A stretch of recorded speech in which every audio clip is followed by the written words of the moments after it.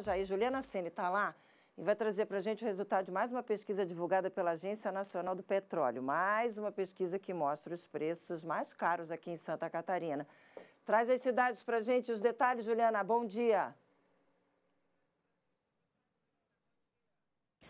Bom dia, Márcia, para você e para todos. Eu e você temos azar, Márcia, porque a gente está vivendo aí nas cidades que tem o preço mais alto da gasolina, né, com relação ao combustível.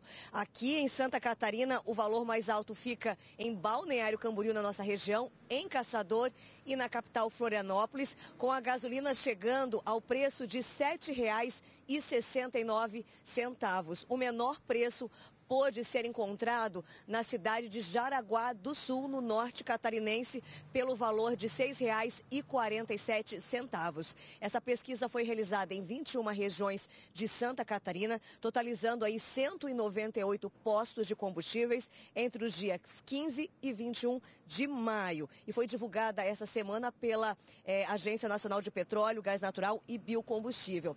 É, a boa notícia é que a gasolina ela teve uma queda de 0, 0,3%, é, depois de cinco semanas aí de alta, e o diesel voltou a ter é, uma alta aí de 1,4%.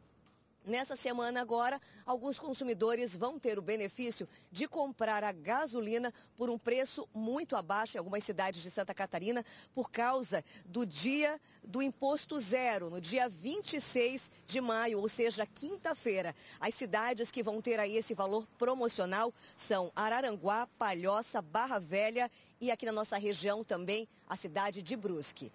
Com a gasolina aí a R$ 4,99. Eu volto com você, Márcia. Já imagino as filas.